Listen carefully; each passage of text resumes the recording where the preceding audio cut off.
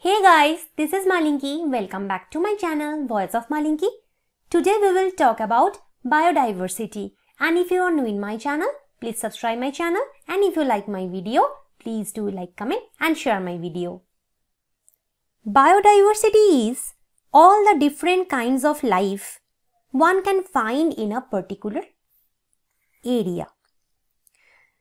So suppose we have a particular habitat. This is the habitat and here we have some trees, we have some shrubs, we have grasses, we have different animals.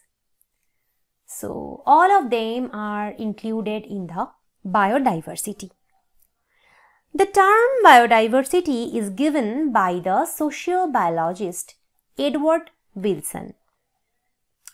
According to the International Union for Conservation of Nature and Natural Resources that is IUCN 2004 report, the total number of plant and animal species described is more than 1.5 million.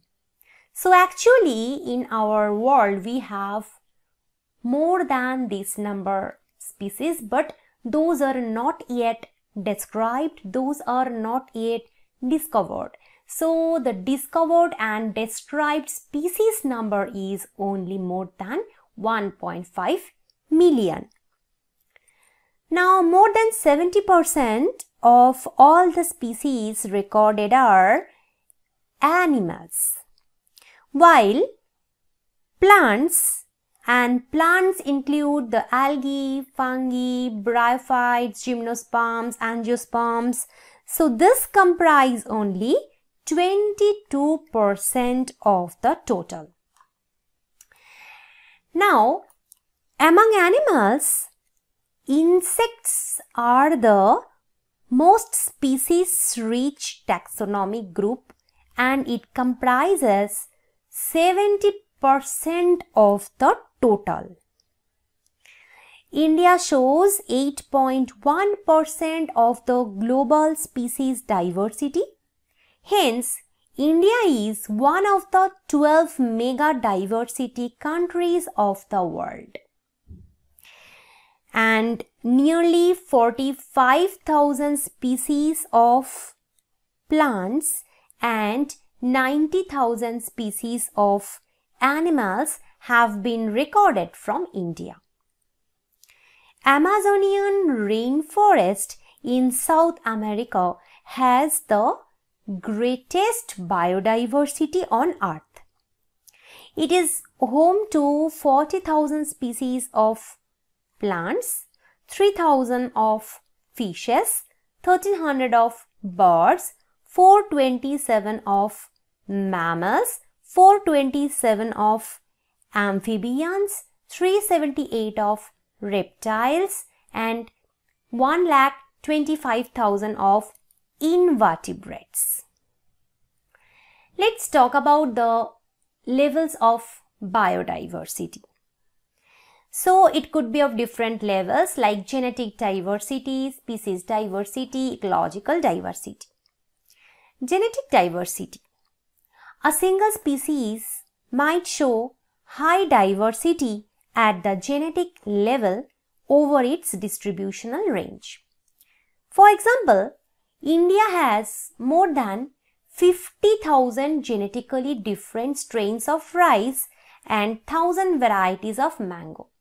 So you can see that the rice that is Oryza sativa. So the single species sativa. So it has more than 50,000 different strains. Like mango that is Mangifera indica. It is the single species Mangifera indica. It has 1000 varieties also. That means a single species is showing high diversity at genetic level. Next is species diversity.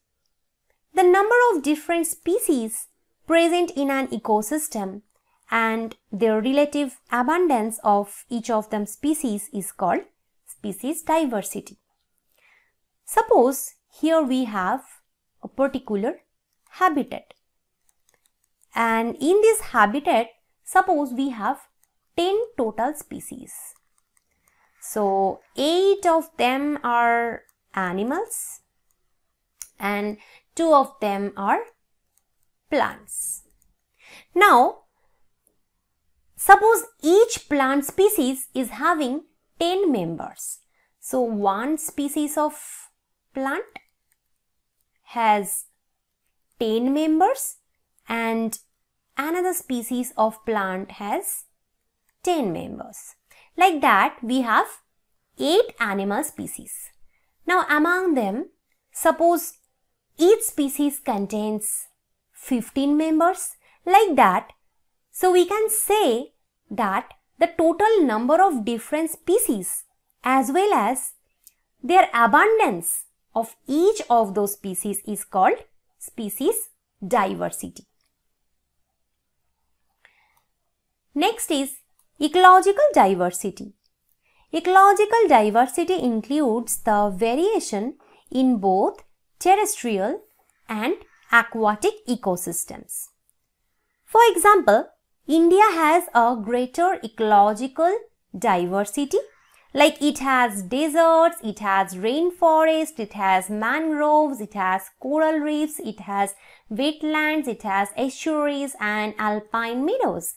So it is a great diversity, right? Great diversity in respect to ecological systems or ecosystems than polar regions because we know in polar regions very few ecosystems are present. So it is called ecological diversity. Let's talk about the patterns of biodiversity. It is of different patterns like latitudinal gradients and species area relationship. Latitudinal gradients. So species diversity decreases as we move away from the equator towards the poles. So if this is the world, we can see here, this is the equator and here we have the north pole and here we have the south pole. Now, as we move away from this equator towards the pole, it could be the north pole or it could be the south pole, the species diversity will decrease because actually the equator region has a very good climate so it supports more species diversity compared to the poles. Next is species area relationship. So Alexander von Humboldt he observed that within a region, species richness increased with increasing explored area, but only up to a limit. In fact, the relation between species richness and area is rectangular hyperbola. So, I think it's better if we consider this graph.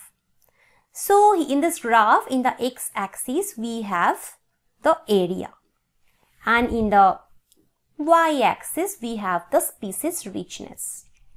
Now you can see that from this point to this point that means we are exploring the area. So the area is increasing here right from here to here the area is increasing and as the area is increasing we can see the species richness is also increasing. Right? But here we can see a steep decrease. So again we are exploring the area that means the area is increasing but from here we are getting a decrease in the species richness. That means from this point to this point, we are getting new new species. But it is limited till a particular point. When we cross this point, we will see some repetition, right? So, from this point, we are getting the repetition of species. We are not getting any new species. But this occurs specifically in a small area. If you consider a large bed area, that time this will not happen. That time as you move, you will get new new species. And hence the graph is rectangular hyperbola.